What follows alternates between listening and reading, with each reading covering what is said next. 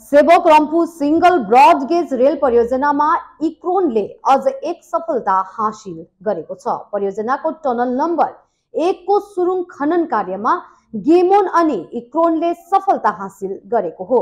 Sevoke rail station नजिकबाट थालिएको एक नम्बर सुरुङको लम्बाइ कुल चार हजार दुई सय एकतिस मिटर रहेको छ। यस कार्यलाई सम्पूर्ण रूपले गेमोन कम्पनीले आफ्नो हातमा लिएर दुई हजार उन्नाइसको दिसम्बर महिनादेखि काम थालिएको थियो। चार वर्ष दुई महिनापछि बिहिबार इक्रोनका निर्देशक महेन्द्र सिंहको हातबाट अन्तिम ब्रेक थ्रो गरियो। यस अवसरमा रेलवे विभागका chief administrative officer Rajiv Kumar सिंहको पनि विशेष उपस्थिति रहेको थियो। सेवकदेखि रम्फूसम्म लगभग चौधवटा सुरुङहरू मध्ये यस सफलतापछि लगभग नौवटा सुरुङहरूको खनन कार्य समाप्त भइसकेको छ।